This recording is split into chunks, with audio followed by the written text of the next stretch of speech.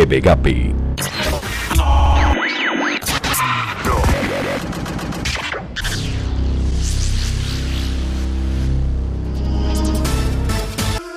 Ya estamos al jueves 28 de enero de este 2010. Yo soy una servidora Mayra Galván. Le invito a que nos acompañe a conocer la información para el día de hoy. No se despegue y no olvide también tomar agua Bonafont porque es fuente de salud. Bueno, pues ahora sí vamos a dar inicio.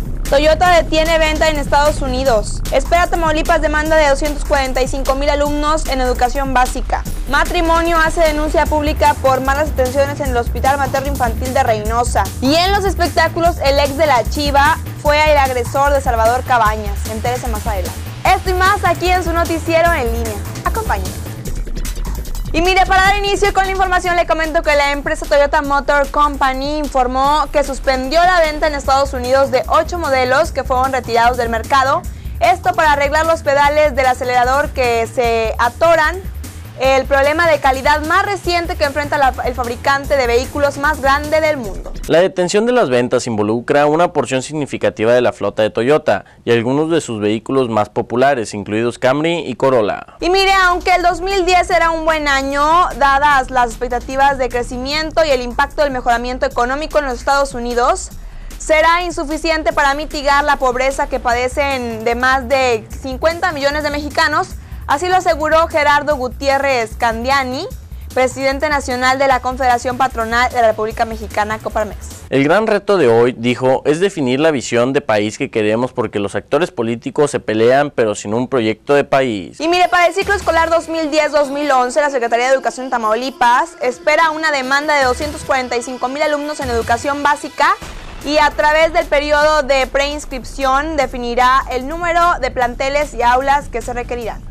Lo anterior fue dado a conocer por el subsecretario de Planeación e Infraestructura Educativa de la SED, Javier Carrizales Jaramillo, al garantizar un espacio educativo a la totalidad de los alumnos que van a ingresar a preescolar, primaria y secundaria. El presidente del Senado, Carlos Navarrete, afirmó que a más tardar en abril será aprobada la reforma política, la cual será mucho más completa que la iniciativa que en la materia envió al Ejecutivo Federal. Y para dar inicio con información de la ciudad de Reynosa, les comento que Alejandra, San Martín y Gabriel es un matrimonio joven que se encuentra muy decepcionado por las atenciones en el Hospital Materno Infantil de la ciudad de Reynosa, ya que por negligencia médica perdieron a su bebé recién nacido.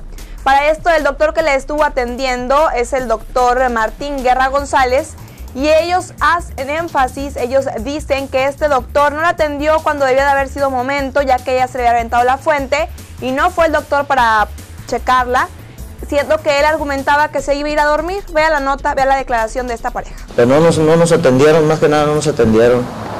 Que todavía iban a dormir y que siguiera caminando y pues oye, si es un hospital que tienes que atender luego luego al paciente, ¿verdad?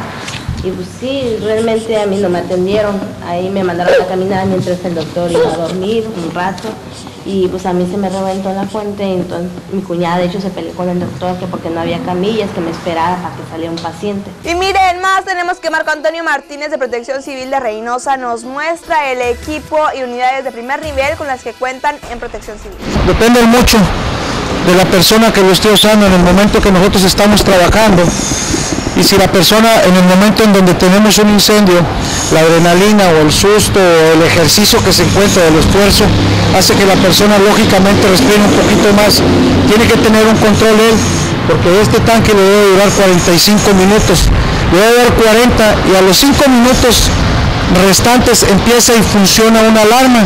Esa alarma le indica a él que tiene que salir, tiene 5 minutos para salir y poder cambiar su tanque y poder seguir trabajando. Y en los espectáculos les comento que Silvia irá bien, mejor conocida como la chiva de reality show Big Brother, reveló en entrevista en el noticiero de Adela Micha que tiene una hija con José Jorge Valderas Garza, el agresor del futbolista Salvador Cabañas.